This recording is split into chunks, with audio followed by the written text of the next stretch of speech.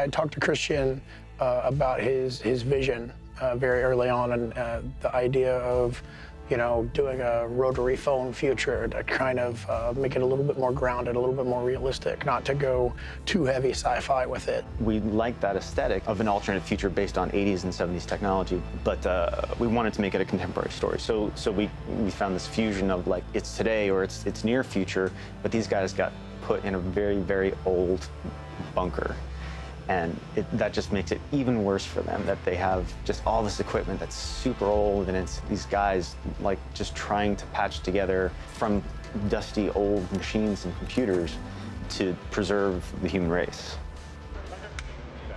It's not sleek. I think too often sci-fi movies get into this whole, you know, they want to make their sci-fi movies look like the Apple Store, which is very cool. I love going to the Apple Store.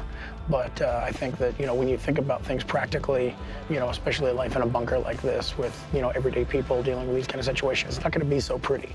I like the, the way that it's mixed high tech with low tech. I think it's very it's a very interesting approach to it. And if something like this happened, you would grab whatever works and tape it together.